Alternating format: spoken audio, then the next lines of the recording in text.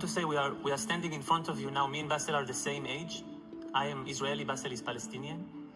And in two days, we will go back to a land where we are not equal. I'm living under a civilian law, and Basel is under military law. We live 30 minutes from one another, but I have voting rights, and Basel is not having voting rights. I'm free to move where I want in this land. Basel is, like millions of Palestinians, locked in the occupied West Bank. This situation of apartheid between us, this inequality, it has to end.